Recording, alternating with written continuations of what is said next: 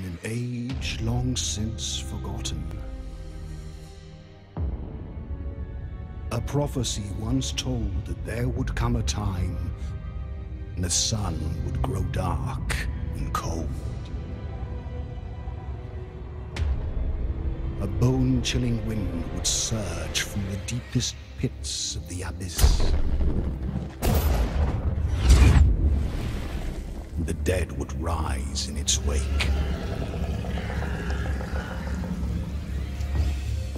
Harbingers of destruction and despair.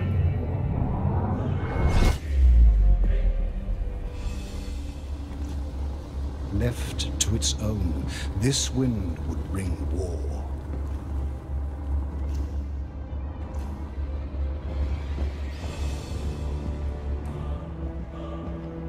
War that would ravage the nine planets.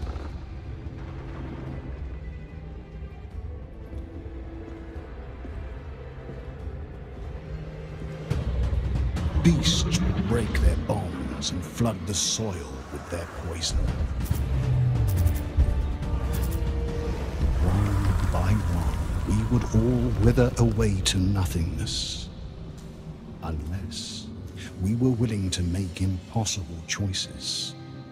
Warriors of legend would rise once again. Black of heart they would be.